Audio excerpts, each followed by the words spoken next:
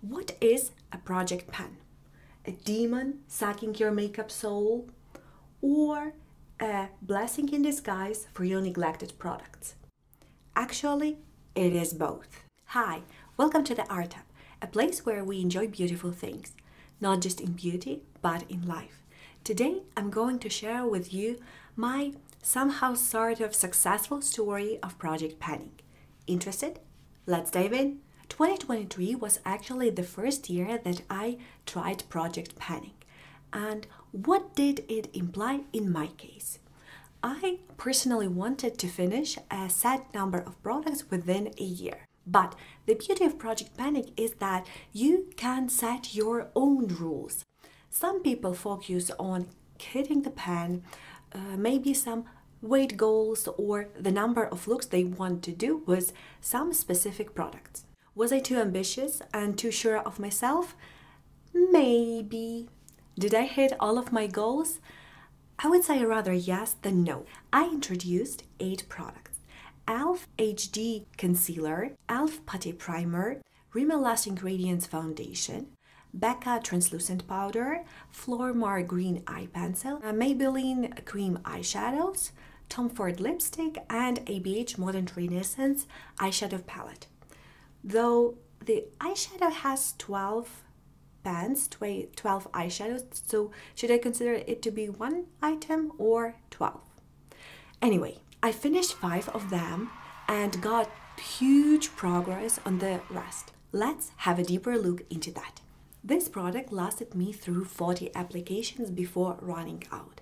Great primer it made my skin feel very smooth and very soft. Even it gave a slightly blurring effect to my pores. It didn't feel heavy or greasy on my skin. Definitely repurchase when I run out of all of my other primers. Here is the first piece of advice that I have for you. When you introduce items to your project pan, make sure that those products work good on you and look good on you because sometimes I see that beauty enthusiasts adopt practice of panning in order to declutter or in order to reduce waste before buying a new product, which actually is true to some extent. But I see that they are constantly using the product that they might not like. They do that solemnly to justify the act of panning.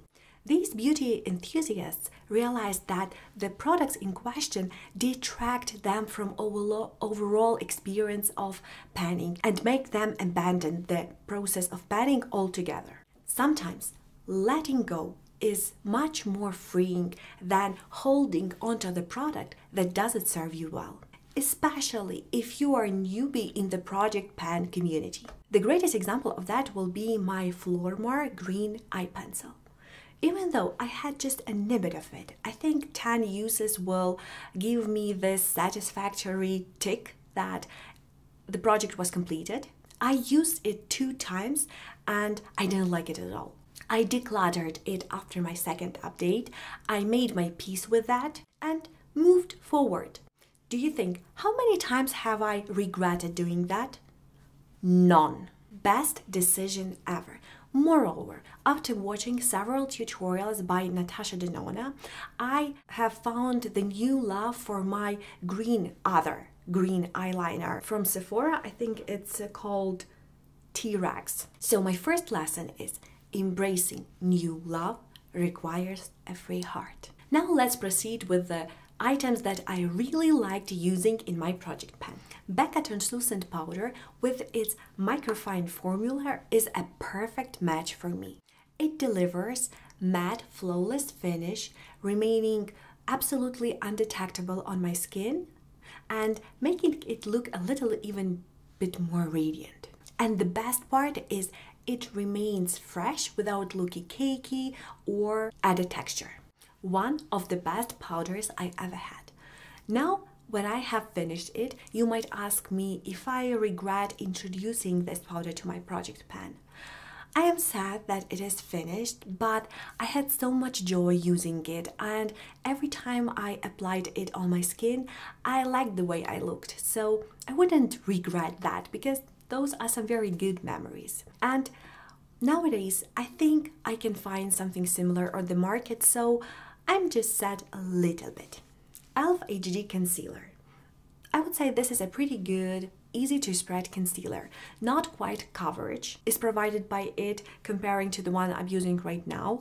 I have NARS in the shade Vanilla, which gives you much more coverage than this one. Mainly, I used my e.l.f. HD Concealer as mixers to my um, other foundation shades and I used it as a concealer during summer mainly because I was a little bit too tanned.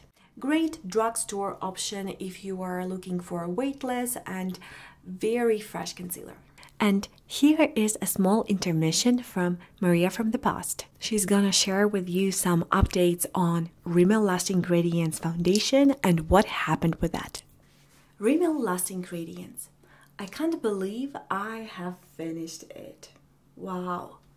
This used to be one of my older foundation and in the beginning we had kind of rough start because as the name suggests it has some radiant substance that makes your face radiant. And since I'm the person who has oily skin I'm not a big fan of that. So I decided to put it in my project pan the need for a good update prompted me to think out of the box and come up with a new and new ways to use it up. At first, I used I used it as a liquid highlighter and foundation mixer and it worked great in summer. But then the fall came and I had to once again reconsider my options. I thought since it has pinky undertone and pearl radiance, why not to use it as an under eye corrector? And that was a game changer. It made a huge difference. But once again, the usage was very minimal. And once again, I had to pop up with new ways how to use this bad boy. My next aha moment was to use it as primer. Duping e.l.f. Halo Glow Filter Primer. It worked so well that I'm seriously considering repurchasing it and use it as a glowy primer. Especially it worked very well with matte foundations like L'Oreal Infallible. Everyone raves about it, but it doesn't work well with me. It sits on my pores and it looks horrible. But with a radiant canvas, I look like a soft focus goddess. So Rimmel Lasting Radiance taught me that every product is a gem. You just have to find the way it shines. Even when it sometimes takes you two years and 60 uses in a Project Pan. And the last two products before we move to eyeshadows. Uh, Tom Ford lipsticks and Maybelline cream eyeshadows. Originally, I didn't want to put this lipstick into my project pan, but accident has happened and I didn't want to throw it away the texture was too creamy and too sheer. Maybe if you have dry lips, it will work for you because for me it was like a just radish balm and it was not long lasting at all on my lips. I have a mini. The full size of this lipstick costs 80 Canadian dollars. $80. I cannot justify this kind of price. Even though the packaging is nice, very luxe if compared to my other lipstick which like high-end lipsticks which is from Yves Saint Laurent this one the packaging is much flimsier and it's like cheap plastic the full size of this retails for $61 I would definitely opt for this one compared to this one because the texture of this lipsticks is much more enjoyable for me to wear and the color is better choice. So another red lipstick from Tom Ford is an easy pass for me. And Maybelline Cream Eyeshadow. I usually use it as my base. It is not designed to have a blend or gradient on top of it. It is designed to hold the color. So usually you just pack your eyeshadows over it and they stay for a very long time. I use it as uh, my one and done look. I have this eyeshadow as a base, then Buonfresco in my crease and Glass Bull from Colourpop all over the lid. And this is my spring fresh look that I'm going to sport very, very soon. Finally, eyeshadows. Recently, I have reviewed the way I use my Project Pen eyeshadows. If you are interested, there is video somewhere over here where I explain in depth what is my new way of actually using my eyeshadows, my Project Pen eyeshadows. And here is my current progress. You see it, yeah? I have completely finished an eyeshadow. Primavera is gone. I never thought that I would ever finish an eyeshadow, a whole eyeshadow. There are three things you can watch forever water, fire, and an empty pan when you open your eyeshadow palette. Every time I see it, it makes me so happy. So, my next snippet of panning wisdom is progress makes us happy. Progress is a driving force of continuing panning. So, Find the best and the healthiest way to measure your project progress, like weighting it, uh, having marker of progress, or having a number of looks that you want to wear using that palette. Just whatever works for you.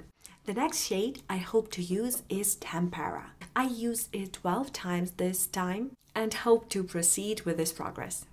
Among the most visible progress are Vermeer, which is my new highlighter, and Raw Sienna, which is my new bronzer. I used them four and six times correspondingly. Maybe I will dare myself and say that I might finish Vermeer by the by the next update because this is the only highlighter I'm using right now, and maybe do much more progress on Raw Sienna. Maybe even end it up with that both of them prompt me to share one more piece of advice that I would like you to know. Come up with the new ways of using the product, but make sure that it is not too much of a hassle. For instance, Raw Sienna is quite dark for my post winter complexion, but it is of the right shade to be my bronzer. So the key to have frictionless usage of this shade is to find the best way how to apply it, mainly on the periphery of my face. In order to do that, usually I use two brushes, the smaller one to put the product on and the bigger one to blend it up. And it works great. Consequently, you might wonder, why do I struggle so much with burnt orange if I can use it the same way I use my Raw Sienna? This time I use it four times and here is the pickle. It is too yellow to be my bronzer. I have to somehow cool it down by either frankening it or coming up with, I don't know, other ways how to make it work on my complexion. I'm not gonna do it right now, but I think eventually I will have to do that. So if you are interested to see how I repress my eyeshadows, let me know in the comment section below. I will film the process. The next visible progress is in Warm Taupe and Golden Ochre. Remember, I struggled so much with Golden Ochre, I didn't know how to use it and I was sure that it didn't work for me. Now I figured everything out. You have to find it a companion. One more golden nugget of penning wisdom. Sometimes something works better in pairs. I created my other go-to look with golden ochre all over my lid, warm taupe in my crease, and primavera all over the base, which resulted into using those shades at least extra 8 times. So create staple, easy to throw look with your panning shades. Even maybe incorporate the other shades other from your favorite batch. For instance, sometimes instead of Primavera, I used Cleona eyeshadows. But my, the base and the usage for the products that I didn't incline to use still increased. Even though I used Cleona, other shades that are not in my project pan journey, and combined them with the ones that are actually along the way. And as a result, it secured me a good visible progress Buon Fresco will finally experience its time to shine with the spring coming. I use it only two times, but it is a staple in my so-called spring look, so I will use it much more in the coming months. So stay tuned for much bigger progress. Now, let me address the elephant in the room, a pen in Cyprus Umber. Hitting pen on that shade was quite unexpected achievement, taking into consideration its very challenging nature. I couldn't use it to darken my outer corners of eyes because somehow the color become less vibrant and less intense. But after finishing my brown eyeliner from Physician Formula, I found a new use for that. This eyeshadow proven to be an excellent way to set my brown eye pencil. To do that, I usually use very small dense brush and it works great. I definitely hope that by our next update, the pen will expand even more. And the last four perfectly good shades, but the ones that leave me so uninspired. The first one is Red Ochre. I used it just two times, and the last time I used it as my eyeliner, which I actually liked. So maybe by the next update, I will use it much more. What do you think? Venetian Red and Love Letter. I used those two shades only two times. I somehow struggle a lot with these two pinks. And now looking at them, I think I know why. Because their color saturation is something in the middle. It is not too dark to darken the outer corner of my eyes, and it is not light enough to brighten the inner part of my eyes. The only way I can see they can be used are as uh, smoky eyes or in order to blend the border between darker and lighter shades. Even in the crease, I cannot use them because they look too dark for me to be used there.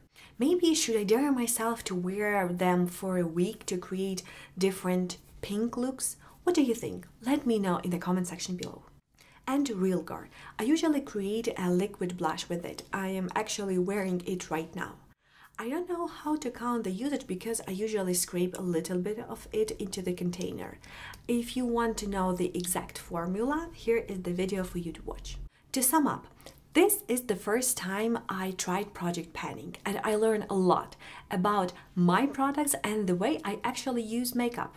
Here are the main takeouts. I actually do not wear as much makeup as I thought. And now, saying that out loud, I am now considering how many years I need to actually use up all the product items that I have in my drawers. So I will definitely continue project panning and in the upcoming videos I will introduce my project pan items and goals for 2024. So stay tuned if you don't want to miss that. Project pan pushed my creativity and also the products that I thought will stay with me forever were used in the blink of eye whenever I used the right approach or the right way of application. What about you? Are you doing Project Pan? Do you have maybe some insight that you would like to share? Or maybe there is some piece of advice that help you to clear the damn pan? Let me know in the comment section below. I would love to chat with you. Thank you for spending your time with me. See you next time. Bye.